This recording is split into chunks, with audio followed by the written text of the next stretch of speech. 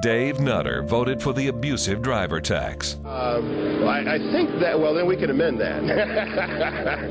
you know, if that's the case. I, I, the way I understood it, it would apply to anybody who got a ticket in Virginia. Wrong, Delegate Nutter. It only fines Virginia drivers. A prosecutor, Peggy Frank, knows a good law from bad. Peggy Frank will get tough on sex offenders, not Virginia drivers, and end the abusive driver tax. I'm Peggy Frank, candidate for delegate. I sponsor this ad.